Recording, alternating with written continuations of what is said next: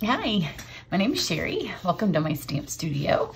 I have a third card in a series. Well, it's the second video. One of them I didn't end up filming, but you may have caught this one. It's one that I did with the new Ornate Garden series. And this one I did with the Ornate Borders.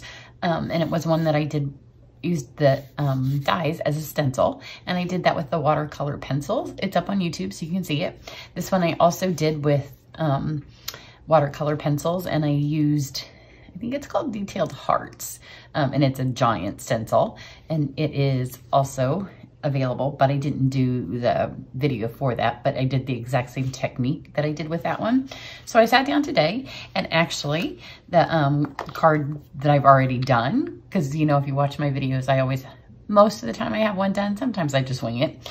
Um, but the one I've done, I did do with the watercolor pencils. And then afterwards I thought, the I wasn't super happy with the colors because they weren't the exact same colors as the paper. So I decided I'd switch it up and I'm gonna use our Stampin' Write markers. So the card's gonna be switched up a little bit. I'm, the colors are gonna be different, but I'm gonna use the Ornate Thanks. And on this one, I'm gonna use the the frame set, which last I checked, it wasn't on back order. So I will check again and I'll put it down in the comments. So if you like this one, you can order the ornate borders, but this one, um, I think you can, it will ship right away. The other one's shipping in early May, I think. So here's what I'm gonna use. I'm gonna use these adorable note cards and they come I have an odd assortment of them left because we use them at, at camps and classes, but I think that, I think this is all of the colors, the blue and then these colors. So my first one I've done in the olive, and then the paper that comes in the Ornate Garden Suite is this little piece here. So you can see it matches three of the, the note cards. So let's go with mm, I've already done the olive, so we'll see how that one looks. Let's pick from the other two. Let's go with this one this time. And then the envelopes, you can give them a different color envelope if you want. They're all super cute. They're little scallops. So we'll get that note card. I mean, that envelope. So what we're gonna do is we are going to, I'm gonna go ahead and stamp it in the soft suede. And that was one of the other things I didn't like. If you look at this paper, this is my favorite side. Look, we're gonna cover that up. I hate when you have to tape your favorite side, but this is the side that we're working with. Um, and this doesn't have any black in it. And my other card has some black, so I was kind of torn. So we're gonna do this one in soft suede and see if we like it better because that's the color in the, the paper. And then I also have switched from white because I used white in my original card. So you're gonna kind of get to see, um, we'll see which elements we like best of both cards. So this is, this is So Grateful. I'm gonna stamp it on the shimmery, shimmery white. And the first time I just used, may have rocked that. The first time I just used regular white, um, because that's what the cards are. But then when I was done, I thought um, that I liked that. I do like the faded look better with that than the stark black. I'm gonna need that one more time to get the other words. But the thanks, the ornate thanks has so many different words of thank you cards that you can make. And right now I know so many of us are giving thank you cards. So we're gonna, both of these dies I'm gonna use are out of the same die set. Super beautiful. Um, so this one, I'm just, it's just a stitched square. I don't want it to go through speed bump, so I'm gonna turn it at, at an angle. And then I just have a piece of scrap that I'm gonna make my stencil with. And again, I don't want it to go through speed bump. And I wanna have enough space on one side um, to put some washi tape. And it just, oops, well, it would have just taken one roll except I didn't have it straight. I didn't have my plate laid on there because I was looking at this hanging off the back, which was kind of bothering me. There we go. But it just takes one roll through.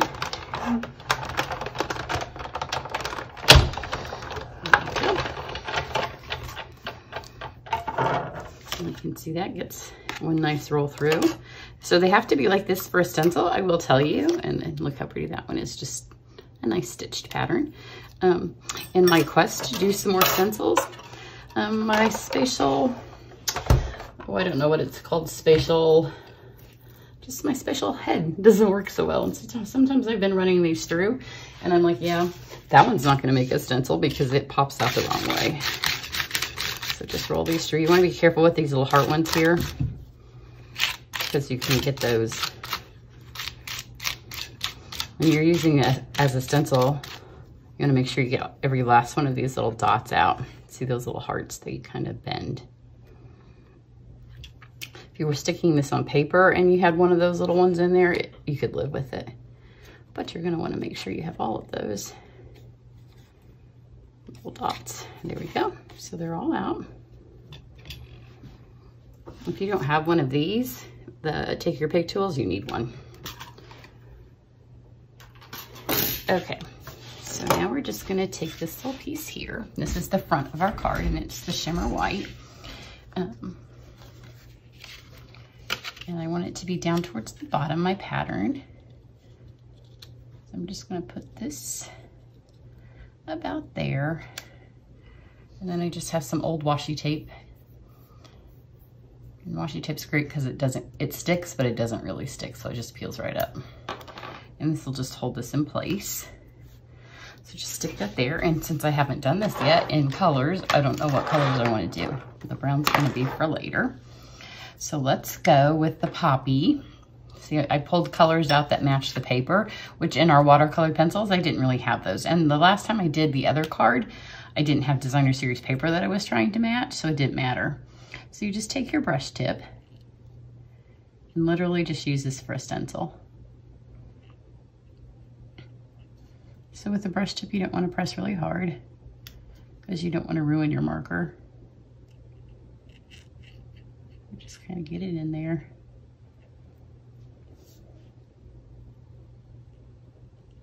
Just like that.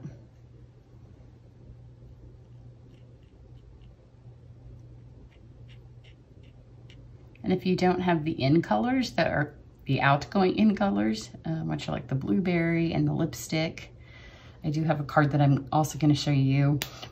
I'm to film that video next. Then I use the lipstick. And then I have um, the Calypso Coral. And I'm gonna go ahead and I will color these in. Just gonna do the same thing on all of them. Just gonna use my big brush tip. But I'm gonna sit here and I'm gonna do that and then I will join you again when they're done. Okay, so this is my last color and it's the mint. So I'm just gonna fill in these last little holes. And you can do the colors. Obviously this isn't the exact same pattern, so you just kind of pick whatever you want on these holes. You're just kind of putting it in there and swirling it around. And then when you're done, you just lift this up. And it on most of the stencils, you could use them repeatedly. This one with the hearts, it's kind of kind of depend on how um, that heart holds up. So I have just been sticking these over on my um, camera frame and then reusing them. So now, I like it to look a little bit more of the painted um, stencil told kind of look. So on this one, on the other ones, I used my um, blender pen. On this one, I'm just gonna go, I'm gonna start with my lightest colors. And this is just a Wink of Stella. And so I'm just gonna blend it just a little bit. So by just smudging it on there, it just pulls the color out. So I'm gonna start with the lightest. And then let's go to the next. And you can see it's uh, better on these darker colors than you could on the yellow but it just makes it a little bit more of a paint feel. And I'll do this, and then I'll be back.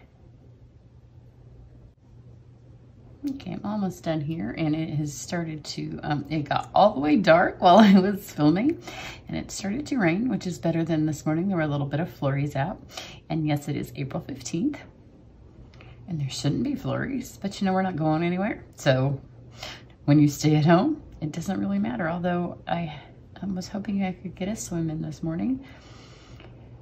And in the winter, it's fun to go out and swim because it's refreshing. It's kind of depressing when it's April 15th.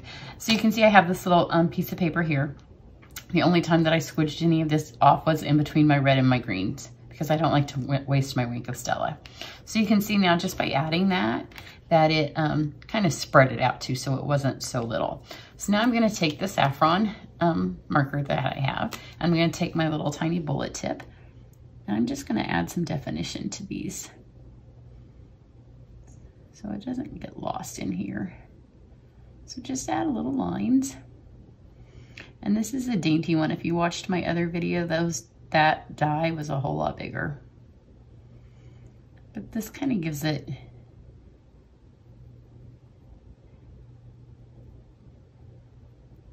the pattern doesn't get so lost. It gives it a nice definition. And it's super simple. You're just literally adding tiny, tiny little lines. On the other ones, I used a blend. And on my first one today, I used a um, our Stampin' Journalers, which on my last video, they had dried up and I had had some on order and they weren't here. so they have since gotten here and I used them, but then I'm not, now I'm not using them on the video. So really anything with a fine tip will work. I don't know if you guys can hear it raining. It's really raining. And it definitely got darker in here. So it may appear that I've changed lighting because I will have zoomed in on this, but I didn't. God did. So there we have that. Then I'm going to take this little thing because I don't want it to be plain. And let's take, I think I might go with the mint because this is different than my other card. I'm just going to take these open spaces of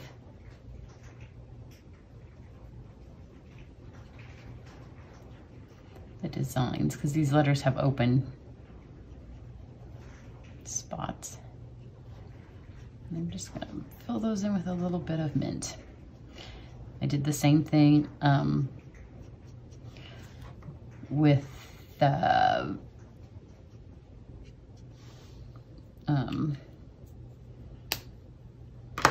watercolor pencils and I, you can do it with blender pens or um, I mean the blend, whatever you're using. Now I'm gonna take, this says So Grateful, and then I have this and it says from the bottom of my heart, and here's a little tip. I'm going to put it here, but I'm gonna do this first because if I happen to mess up my stamping, then I can move this down a little bit lower and I can do it again. So I'm gonna start this a fraction high, which is a tip for you. Because sometimes the words are the things that we mess up when we stamp. You can also put it in your Stamparatus, but it's a photopolymer, so it's not difficult. But especially when I don't want to stick my head over the camera. So just make sure you press. Don't rock it. There we go. But that way I could put it here and I could move my saying around. But we're good. we've got that. And then one last little thing, we have been, um, for some reason, we've been on like a 1990s kick with our cards recently, me and my girlfriends. So here's another thing that we used to do because we didn't have dies. We didn't have folders. So, you know, we did a lot of stuff with what we did have and we did have the markers. So we used to take our markers and we would just draw on the stitching, which now we have these cute little stitches, but this card just kind of needed something to fill the edge. And this does come with a really pretty folder, this set. But I didn't, I wanted this to be the star of the show. So just take your the tip. We've already used it, and since we've used it, I decided to just go with it. So on my other one, I did dots because I also did it on there, and I'm not going to do it on there because I thought that was a little much. So sometimes I put one, sometimes I put two. It's just kind of a little country 1990s kind of look.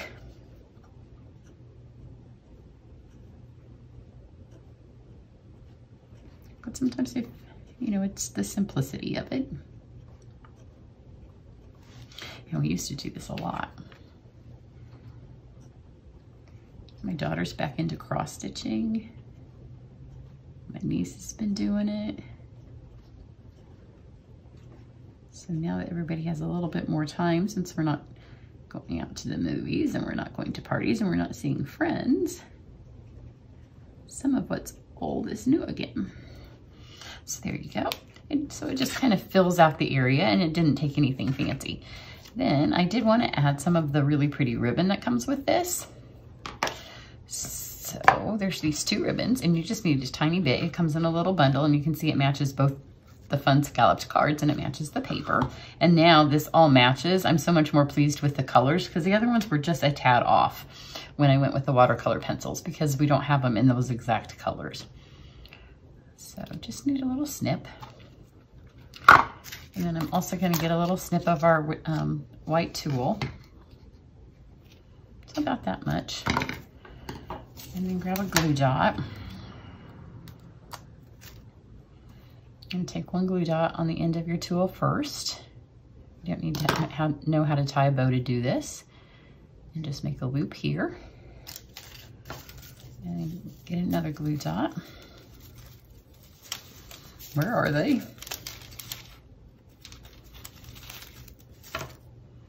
And then make another one. So then you're gonna have two loops of this, like that. And you, they, they can be the same length or they don't have to be, it doesn't matter. And then I want this to kind of show from under here. So now that glue is gonna go through and it will hold it there. And then same thing with these, just grab a glue dot. So if you don't know how to tie a bow, this is perfect for you. So if you kind of get it, so it has, it's holding this together, but it will also have a little bit left to hold on the, the paper. That, because we're gonna put a dimensional over the top of it to hold it all in a second. And the same thing with the olive piece.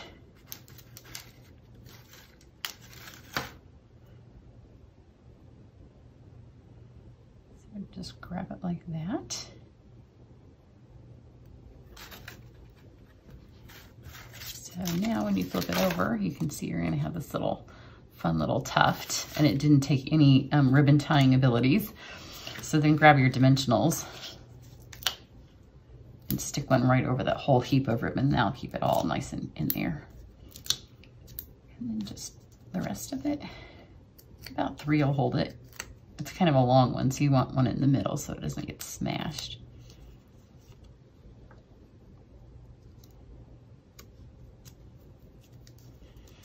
There you go.